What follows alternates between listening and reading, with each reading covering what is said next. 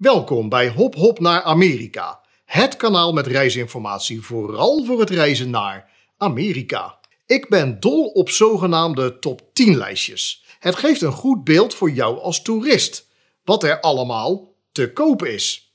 En dat maakt je keuzes dan weer een stuk gemakkelijker. En gemak dient nou eenmaal de mens. Dus bij deze ga ik een top 10 overzicht maken. En deze keer bestaat mijn top 10 uit de leukste, mooiste, beste staten van Amerika waar je als toerist naartoe kunt. Of moet.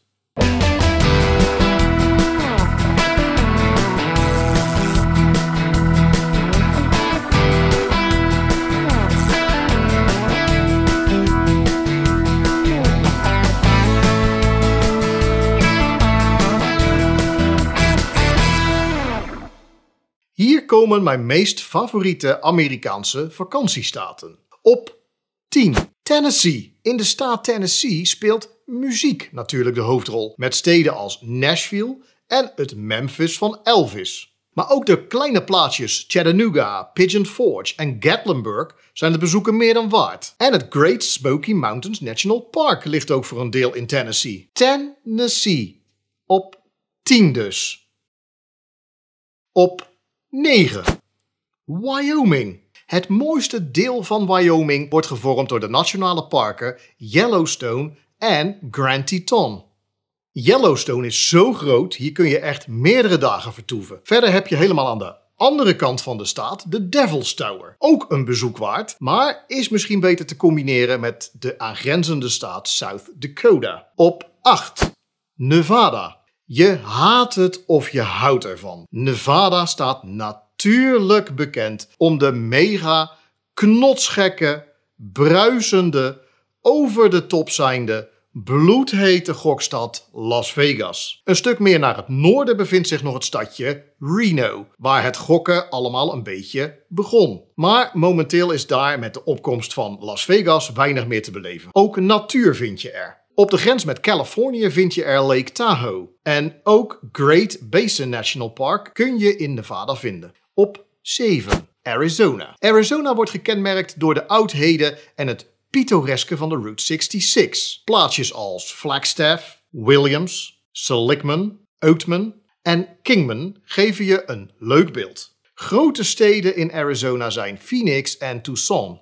Het bekendste en grootste park is uiteraard de Grand Canyon. Maar er is meer te vinden. Wat te denken van Monument Valley, Antelope Canyon, Horseshoe Bend, Sedona en Saguaro National Park. Je verveelt je dus niet zo snel.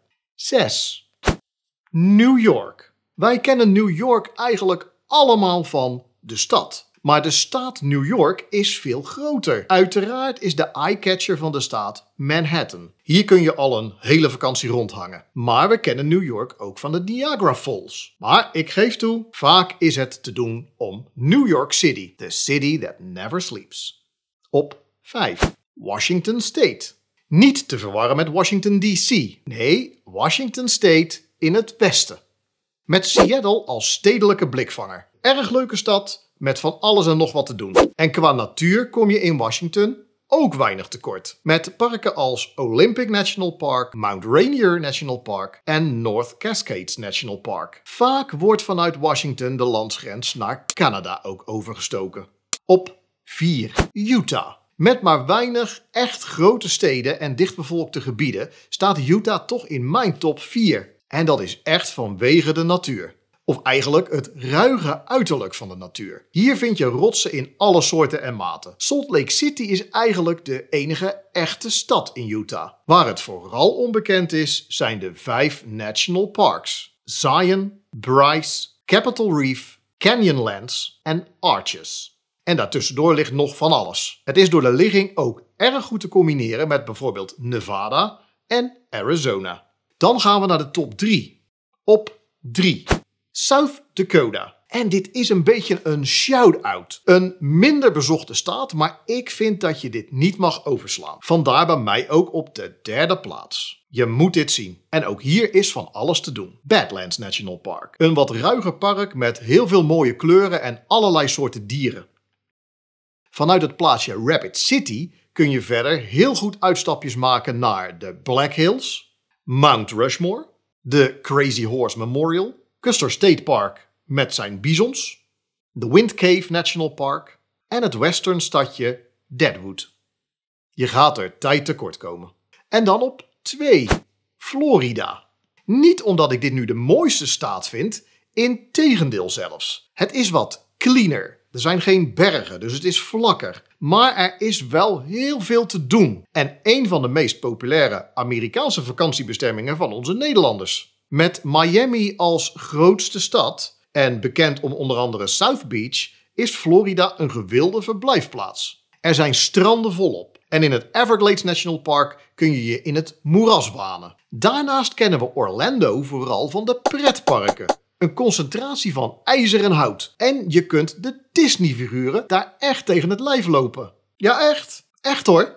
En daarnaast heb je nog het Kennedy Space Center voor de ruimtevaartfreaks. En dan tot slot, wat staat er op mijn nummer 1? Misschien heeft de oplettende kijker het al gemist. Je mist misschien nog wel één staat. Welke zou het zijn? Op 1 Californië. Als je het hebt over activiteiten, ja, dan is er eigenlijk maar één echte winnaar in mijn ogen. Californië heeft het allemaal. Stranden, grote steden, natuur, rust, wandelen, fietsen, autorijden. Californië is best een flinke staat. Met natuurlijk Los Angeles als de stad. Verder zijn ook San Diego en San Francisco zeer de moeite waard. En via San Diego kun je een dagtrip naar Mexico maken. En parken als Joshua Tree, Death Valley, Yosemite, Sequoia, Kings Canyon en Redwood zijn het bezoeken meer dan waard. En ook vanuit Californië zit je zo in Arizona en Nevada. Reden genoeg om deze geweldige staat op één te zetten. Maar alle staten die ik zojuist voorbij heb laten komen, zouden voor mij zo op één mogen. Maak er zelf je keuze uit en geniet er vooral van. En dan nu?